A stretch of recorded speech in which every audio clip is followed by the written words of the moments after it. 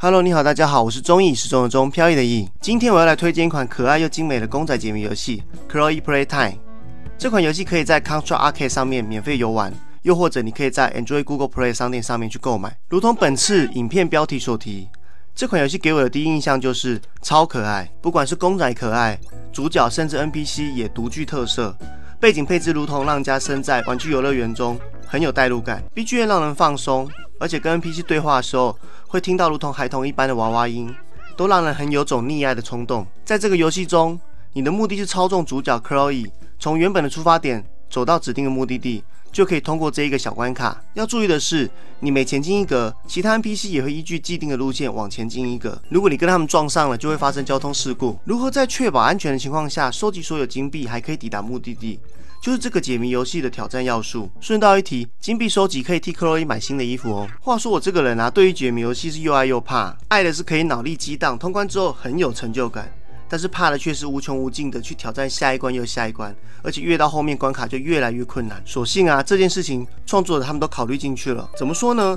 这个游戏总共有七十二个关卡，每五到十关都会出现一些新的元素，好比说会出现定时炸弹，它可以清除敌人，也会炸伤你自己；传送门可以传送自己，也可以传送炸弹；炮弹可以透过按钮触发，也会被敌人触发；可爱的猫咪会追着你跑，也可以拿来清除其他的敌人。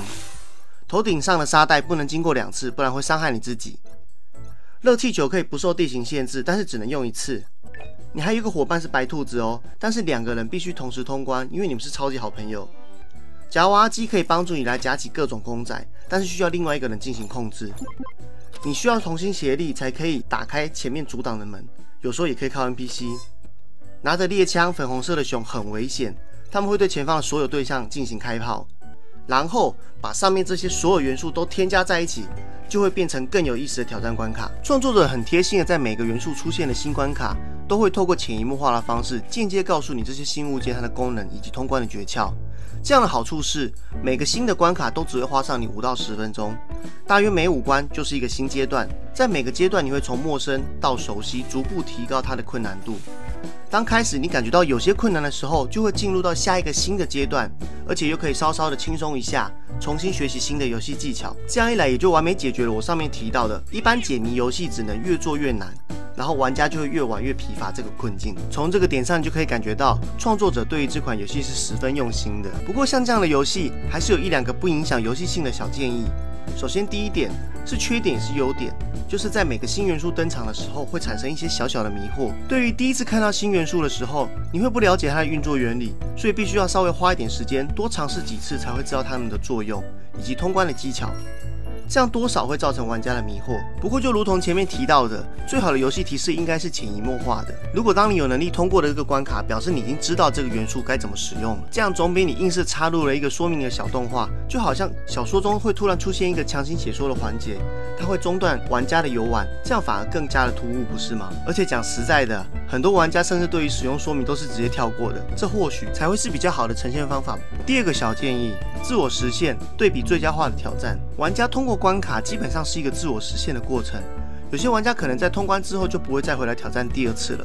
为什么呢？因为这个游戏不存在回头再次进行游玩的挑战理由啊。这类的机制显而易见，在其他游戏里面都有。好比说那些烂大街的三颗星机制，虽然它是烂大街，但是却是一个很好的呈现方式。如果获得最佳的成绩，可以取得三颗星，这样就有机会让玩家回来反复挑战游玩过的关卡。以这个游戏里面来说，最直接的就是透过 Chloe 或是小白兔的移动步数，这个就很适合拿来做星星的评比。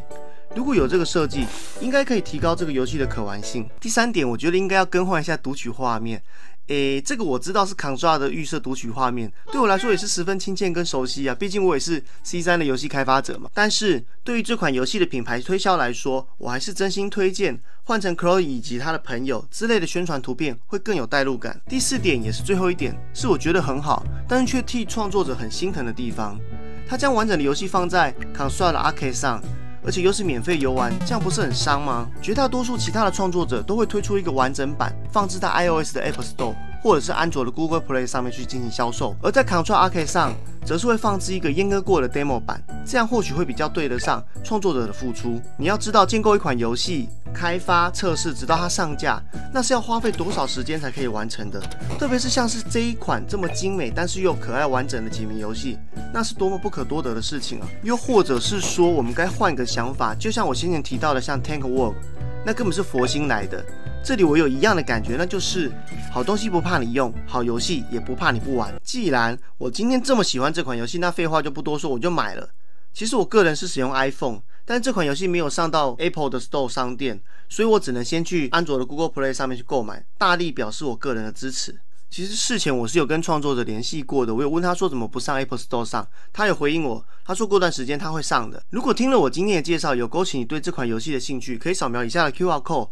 然后到 Google Play 的商店参观选购。如果是其他平台的话，你可以参考在说明栏里面的 UI 楼，直接连线到 Control 3的 Arcade 上面进行游玩。但是以我个人的推荐来说了，我还是建议一下买一下它的游戏，因为就像是把一款精美的商品安装到你的手机里面，一定会感觉到身心愉悦哦。如果说你没有安卓手机怎么办？其实我也没有，不过我就特地去使用夜神模拟器，然后去购买的啦。好啦好啦，这就是我今天分享的游戏介绍，真心推荐 Chloe Playtime。如果说你是一路按快转到了这边。那就让我再说一次，这是一款可爱公仔的解谜游戏，它是很值得你去试玩以及购买的。OK，如果你喜欢我今天的内容，还请按赞、分享以及订阅，非常感谢你的观赏。我是中意时钟的钟飘逸的逸，那就让我们下次再见。